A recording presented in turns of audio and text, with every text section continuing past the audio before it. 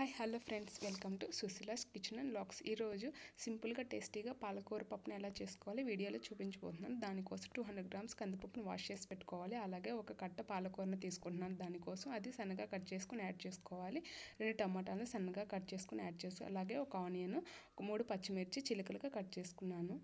అలాగే ఒక కొంచెం చింతపండును యాడ్ చేసుకోవాలి. టూ టేబుల్ స్పూన్ కారం వన్ టీ స్పూన్ పసుపు రుచికి సరిపడా సాల్ట్ కొంచెం ఆయిల్ యాడ్ చేస్తున్నాను. పొంగకుండా కొంచెం వాటర్ యాడ్ చేసుకొని విజిల్ పెట్టుకొని ఫైవ్ విజిల్స్ వచ్చే వరకు కుక్ చేసుకోవాలి. ఇలా కుక్ అయిపోయాక అందులో కొంచెం కొత్తిమీర యాడ్ చేస్తున్నాను. సార్ టేబుల్ స్పూన్ ఆయిల్ తీసుకోవాలి. అందులోకి ఆవాలు జీలకర్ర పచ్చెనపప్పు పప్పు యాడ్ చేసుకోవాలి. మూడు ఎండుమిర్చి అండ్ ఐదు గార్లిక్ యాడ్ చేసుకున్నాక పోపు అయిపోయాక పప్పులోకి యాడ్ చేసుకోవాలి. ఇలాగే మీ ఇంట్లో కూడా టేస్టీగా సింపుల్గా చేయండి వీడియో మీకు నచ్చినైతే ప్లీజ్ సబ్స్క్రైబ్ చేయండి లైక్ చేయండి.